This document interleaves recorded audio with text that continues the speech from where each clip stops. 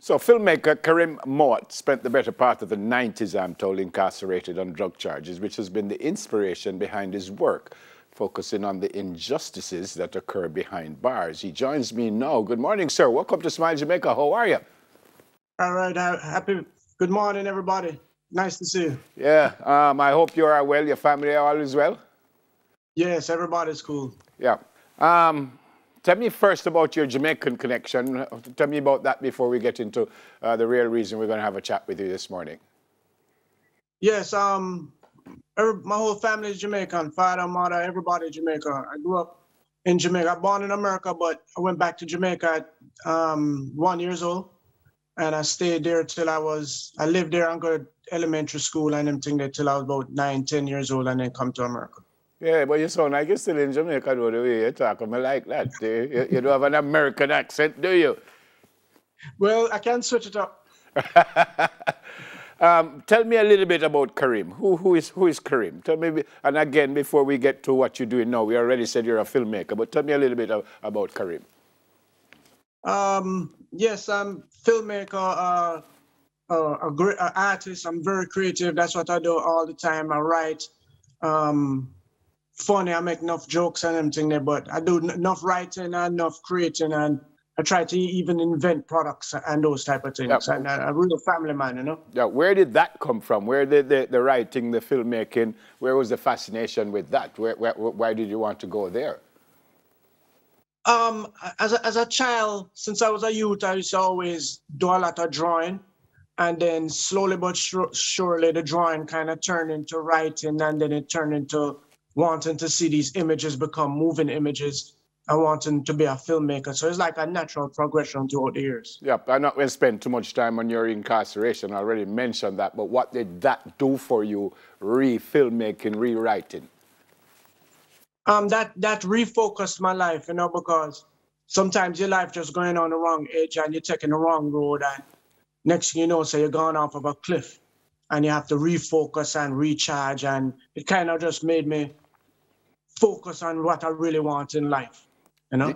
Was there a plan B or did you just have a, a kind of tunnel vision thing and say, no, this is what I want to do? Did you say, well, if this don't work, I might try this? Did you just say, no, this is what I want and, and I'm going to veer from this?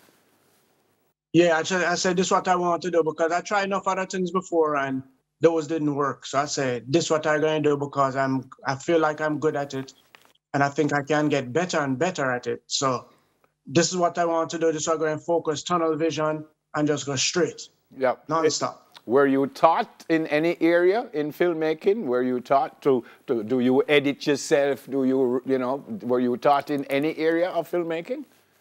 Yeah, actually, I wasn't. I, I read books and um, I studied on YouTube. I learned everything on YouTube. I never went to any schooling and I right now I do the writing, the directing, the editing, the casting, the lighting, the audio.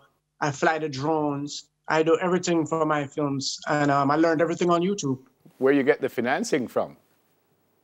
I finance it myself through my job, and um, through um, I also design clothes and sell clothes, and I stream other movies on Amazon Prime on YouTube, and I use the financing from those things to help finance the other projects. Okay, I, I read where you've made three short uh, movies, short stories. We don't have time to, to get very specific, but give me an overview of what they're about. I, I said earlier, Injustices Behind Bars. Uh, give me an idea of what they're about. Yeah, one of them was about, um, um, it was kind of a, a horror film. I made it kind of like a spooky film where this guy was running in the woods and then he got bit by a snake and he died but he didn't know he was dead. So the whole movie, you was looking at his spirit without realizing that you was looking at his spirit. And then towards the end, you realize that he actually died in the woods. So it's kind of like a, um, a spooky type of film I made. Yep. And um, yeah. Second one. Yeah, the second one was the second one was some um some young people, some children, and I put a film together with them where they were um they were in the school putting a project together and these are like five and six minute short films mm-hmm. and then the other films i made was full feature films that's an hour and a half and an hour and 45 minutes and that's that's the last one you made right yeah the last one i made is actually a documentary and that one is um an hour and 21 minutes okay Um, so where, where is that? Where can we see that? Where has it been shown? So, th- so this documentary is actually about a prison that I served time in, and it was an old dungeon prison built in 1910, and them shut it down in 2001. So I did a whole documentary on the prison, and um, it's been streaming in the movie theaters up here in um, DC and Maryland since February. Yeah. So after I leave the, the theaters, then I will stream it online, but it's not online right now. Yeah. True story? Yeah, true story, yeah. Everything about it. And, and are you the, the character in, in, in, in the, the movie? Well, it's not a movie, it's a documentary. Yeah. So I'm the, I'm, I'm the narrator, Okay. and um, I interview ex prisoners and ex prison guards. Okay. What's 100 films? So 100 Films is my company where I do um, the filmmaking. So, so far I have about uh, six films finished already, and they are streaming on Amazon Prime on YouTube. Yeah.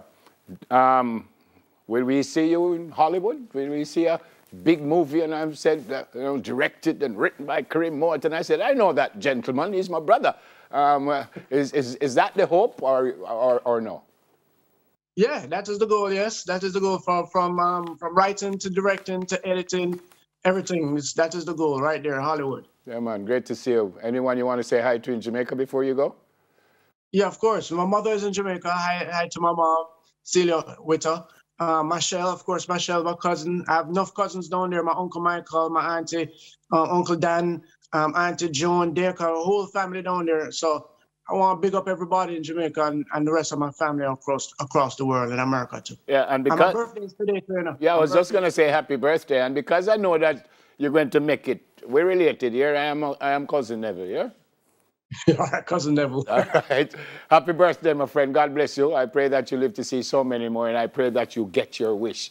And one of these days, I will be sitting in a movie theater watching a, a big time movie, and it's going to be written and directed, and who knows, maybe even you will be the star also. God bless. Stay safe.